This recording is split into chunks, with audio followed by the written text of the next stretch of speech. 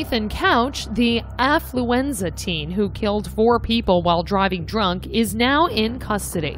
Couch and his mom, who have been on the run for weeks, were located and detained Monday evening in the beachside neighborhood of the Pacific Coast resort city of Puerto Vallarta.